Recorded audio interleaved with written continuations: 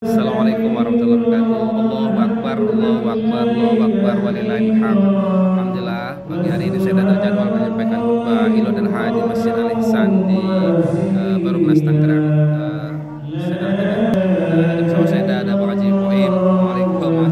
Insyaallah luar biasa. Seorang uh, luar biasa multi talenta. Uh, pernah di